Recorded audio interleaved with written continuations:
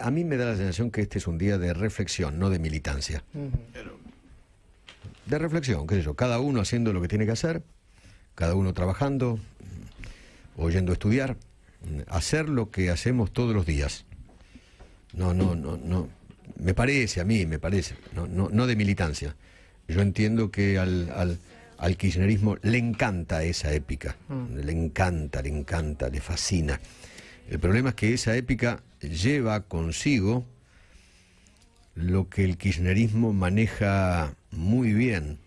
Es detestable, pero lo maneja muy bien. La cuestión amigo, amigo enemigo, Claro. ¿no? Amigo enemigo. Eh, y cuando el presidente habla de los discursos del odio, etcétera, etcétera, o sea, es tan repudiable el discurso del odio, por ejemplo, de los que yo recuerdo de los últimos días. Qué sé yo, Patricia Bullrich en algún momento hablando de corchazos, ¿no? Eso es repudiable. Pero también es repudiable Cristina Kirchner cuando dijo que Patricia a las 6 de la tarde, Patricia Bullrich a las 6 de la tarde estaba medio dejando entrever que estaba borracha. Eso también es un discurso de odio. Horrible. ¿O no? Horrible.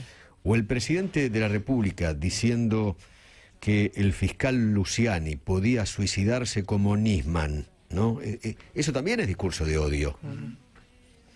O Máximo Kirchner ayer diciendo que, que quieren matar a un peronista, ¿no? ¿Qué sé yo? Eso también es un discurso de odio. Pa- paren un poco.